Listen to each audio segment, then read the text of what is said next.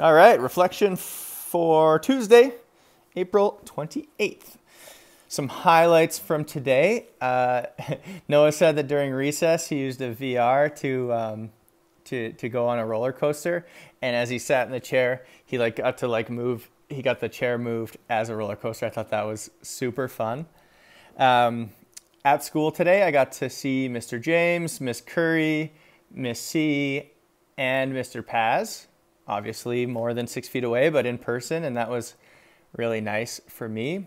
And uh, Reese looked up where Coal Harbour is on Google Maps. And I think that's a really interesting way of extending and connecting to a book. And it was actually, I found myself wanting to do that so many times and never actually did it. So it's so cool that uh, Reese actually found it. He says it's on Vancouver Island, and that sounds really fun. Some things I'm thinking about. I'm thinking about how we can stay connected as a whole grade six group and as a whole elementary. And so we're going to try some things that way, but that's something I've been thinking about.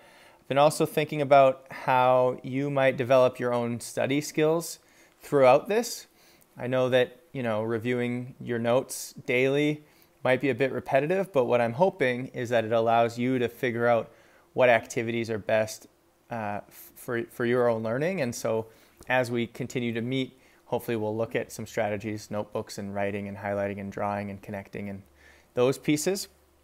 And I've been thinking a lot about what we're going to do with tests. Um, and so there's a lot of options, and I will communicate them with you soon. But if any students or parents have strong feelings, this is a time where I'm flexible and I, I do want to hear what you think. Uh, looking ahead, the cooking assignment for everything on a waffle will be coming out tomorrow. Um, pretty much you'll have a week to cook one of the recipes. So uh, parents, this is just a heads up. You might need to buy some groceries and, and students, you might need to ask. Um, and as always, if this is an assignment that won't work, just ask and we can do something alternative. But I think it's pretty fun. You'll see uh, I cooked the um, cherry pork chops yesterday and uh, I have some pictures of them up on there for tomorrow. And uh, last but not least, I've decided what our next book is going to be, and it is called New Kid by Jerry Craft. Seventh grader Jordan Banks loves nothing more than drawing cartoons about his life. But instead of sending him to the art school of his dreams, his parents enroll him in a prestigious private school known for its academics, where Jordan turns out to be one of the few kids of color in his entire grade.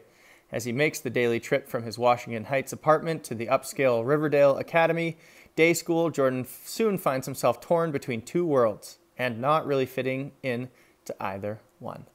So I haven't read this yet. I'll be reading it over the next few days to make sure that it's good. But it's actually a graphic novel. And the reason I chose it is because it is the 2020 uh, Newbery Award winner. Everything on a Waffle was a honorable mention in 2001.